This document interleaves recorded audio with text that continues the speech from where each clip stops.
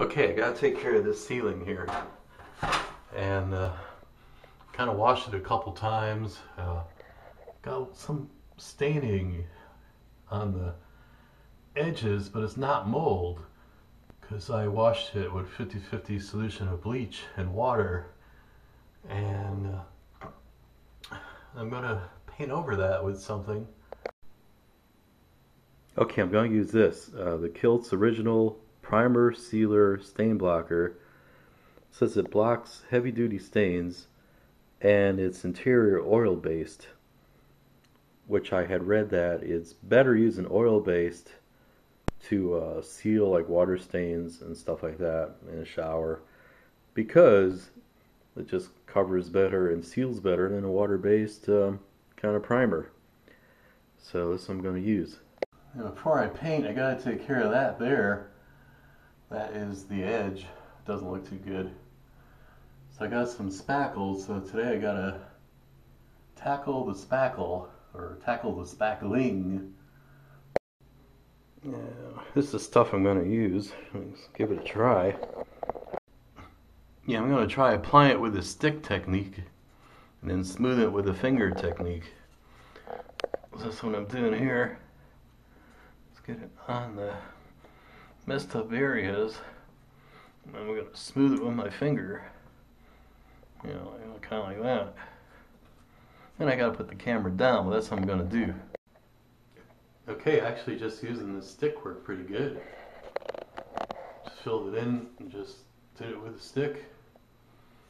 And then uh, I got some extra on there. Just kind of wipe it a little. But what I'm going to do there is, uh, right here, is uh, let it dry and do a little light sanding, like maybe 200 grit or something. And then just um, hit again if I have to. But it looks pretty good. Worked pretty good. And this stuff turns white after it dries. So it goes on pink and dries white.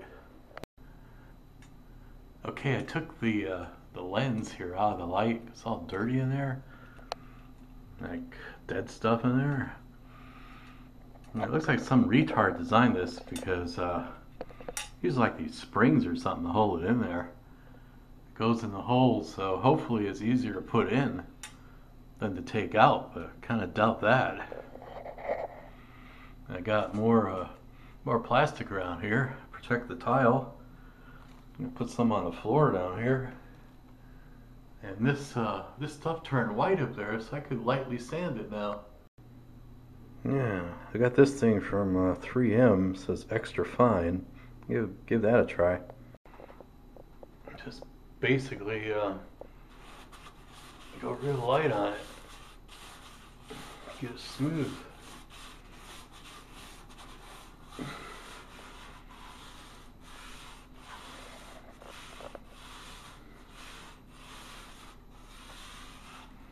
some over here. I put some over here. It's real light. Take it easy. Dabbed a little bit more on there with my finger because it was um, still had like an indentation in there. So basically, I kind of filled it in and let it dry. I'm going to sand it light again. Just keep doing it until I get it perfectly smooth. Yeah, when that spackle's dry, I just found some more plastic and uh, put it on the floor here. So this looks uh, pretty good. Let's see, maybe fix it a little over there so it doesn't drip on there. But uh, I think it's sealed pretty good around here. Alright, got it looking pretty good. Now I'm going to paint it with the, uh, the stuff I got.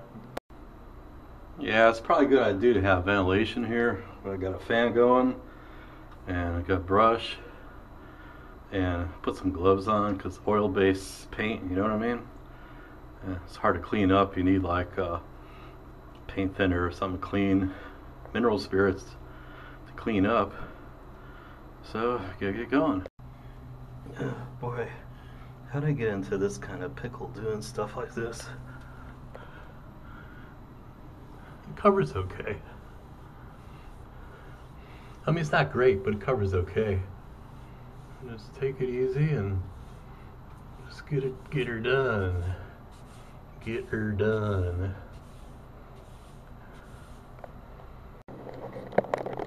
Well, I got a good brush here. Actually says good. And I'm going to put another coat of paint on the top there. You can see how the brush strokes exactly even on there. Because, you know, it's soaking in and this um, Kilz doesn't really cover as good as probably I thought it would. But it needs another coat, so I got a better brush. Let's see, where is it? Here it is. Right here. It's called a good brush. I guess they got even better ones, and this looks pretty good. Better than what I got. I'll give it another coat. Yeah. Yeah, that's, that's a picture of the wife there. No, I'm just kidding. But she looks like that, though. Anyway. Pow. Yeah, that's, um, that's Sylvania. That, that light bulb is a Sylvania light bulb. And it's funny looking. It's tapered on the top. Anyway, that bulb is in there for 30 years. 30 years, folks. And it's used, used every day. I mean, practically. I mean, the wife goes in there, turns the turns the switch on there on that wall, and she takes a shower. I'm talking 30 years. Now watch it blow out tomorrow, but I'm going to leave it in there. Maybe it's good for another 30 years.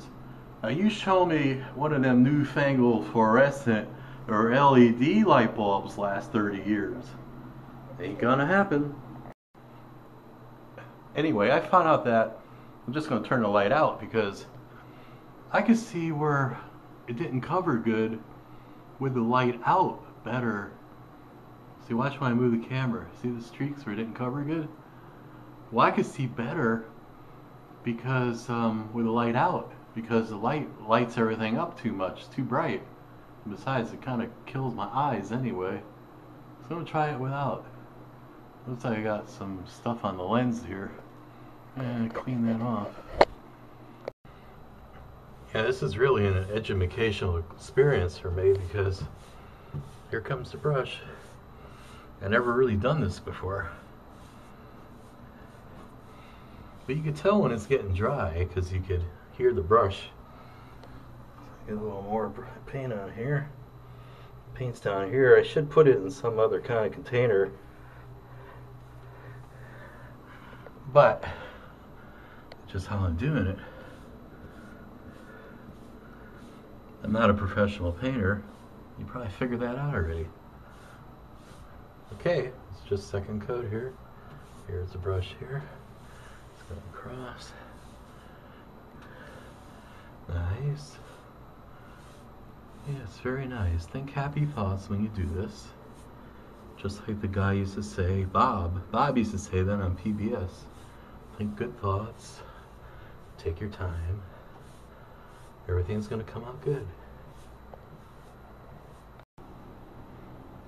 Okay, I gave it a second coat and I got to stand back and look at it. And you're not going to know until it dries. So I gotta see what it looks like when it dries. Yeah, what am I gonna do? All I gotta do is take that little brush and put a little paint right, right in like those cracks there, you know? Well, that didn't work too good, so I'm gonna try this sponge, get a little paint on there, get it into that crack up over there. Zoom in on that. Like them cracks with the sponge thing. The sponge method, that might work sponge method's working. I can't get everything. Just got to keep working at it. I'm just showing this in case someone has to do it, but it seems to work. Just kind of dab the sponge. I'm telling you, it's a lot of work though. You know, I still can't get it all with that sponge, so I'm gonna have to get like a really super small brush and get it in that that edge. You see? It's like the edge of that of that um, sheetrock. And there's like a metal piece in there. And the wallpaper's coming down. And I got a little, little extra paint on there I gotta clean up. But that's what it needs, like a little teeny, teeny, teeny, teeny, tiny model brush to get in there. What a drag. Okay, I got it all painted. Three coats of um, Kilz oil-based um, primer and sealer. And I'm not gonna paint paint it. And I tell you why. Because originally that was not painted. It was just primer on there. And that held up good for 30 years, just primer. And it's white. So why paint it? I mean, why, why risk paint peeling off the primer? So uh, it looks pretty good. I mean, I'm happy with it. Three, it needed three coats though, and I went back to the original brush because the original brush was thicker. So um, I got to put the light back. So I cleaned it all up here. Cleaned like the bugs and whatnot. And I had a seal on here, and that seal just deteriorated, so I want to put some like silicone around here. Let it dry, and then that will like seal it from moisture getting in there.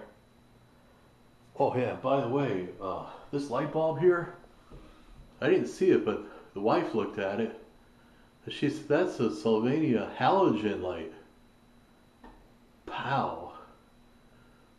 And uh, that's been in there uh, since like the house, like 1982. So, I mean, it's a good light bulb. I'm not even going to touch it or anything. So, anyway, it's all good, so I'm going to put it together. Yeah, and I gotta get my magnifying glass because it says here like something like how you're supposed to put it together. It has these dopey wires or something that clip in there kind of lame, but I guess it works.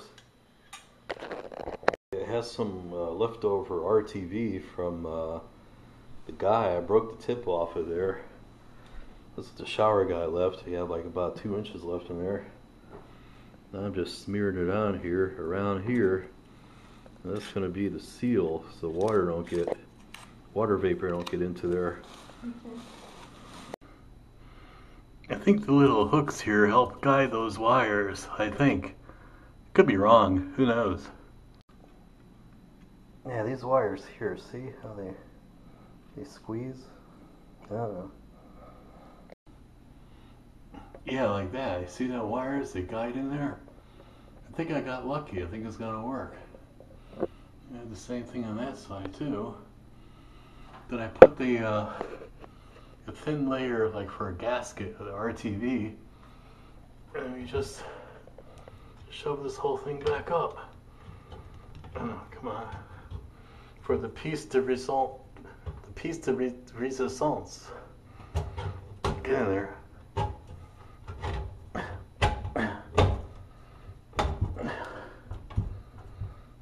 Huh. Yeah. Yeah, that's pretty good almost all the way in. Almost a little loose. That's pretty good, I guess. Uh, okay, I got it in. And it's almost totally flush with the ceiling, but it's pretty close. Like shove it in and it wants to drop. It wants to drop another little, it's almost in all the way. But that's the best it's gonna get because if it's tight, if it's tight there. About 32nd of an inch there. Get in there. I think that's it. Okay, I pulled the lamp back down and then I slammed it up and it seemed to go in tighter. So that's about as tight as it's gonna get. Because it's just the wires holding. It looks good. I can take the ladder out and wife can use the shower. But by the way, in the meantime, I put in a nice new towel rack. I used the level to level that. And then here I um, I put that into the stud. And this side uses that came with it some kind of uh, you know thing that goes in the wall and you tighten it. And it tightens against the back of the sheetrock. But that side's into the to the stud itself. So that's cool. Then I did the same thing on this side. Put that towel rock in. Then I leveled it and let's see this side that side went into the stud. On this side did that kind of hanger thing for the sheetrock. That's that's in good. And I also did um, the new toilet thing. And that all goes into the sheetrock with those tightening things that you tighten up. But all these match, they're, all coordinated. See, they look like uh, salt shakers or something. Yeah, you see? And then match like these uh, faucet things here. That kind of matches like things for the tub. So everything's kind of coordinated. And I'm telling you that this um this was uh, Moen Moen stuff, and it wasn't that bad. Like for instance, like the towel rack here was about 20 bucks, you know, for the towel rack. But I'm saying is like it's good matching the things up. You know, like so you match this part, and then that matches with um, you know, like the faucets here. And the Moen is like a cheaper brand, but when you match everything up, it kind of makes it look classy, you know? This is not like you're spending like a lot of money because everything's like coordinated and people say, hey man, it's coordinated, that looks pretty good. So that's what you do, you know? And uh, see the faucet in there, that, that's like a Moen too. You know, and, and I think the head was too, and that thing over there. So, you know, it's all good. So, Hey, the wife can use this to take a shower tomorrow. And uh, she'd be happy. I mean, she was taking a shower using the other shower in the house. I'm not saying, you know, if she hasn't taken a shower in like four months, that would be pretty bad. But she's get to use the to the use the shower tomorrow. Ain't that great? Take it easy, YouTube friends. Bye.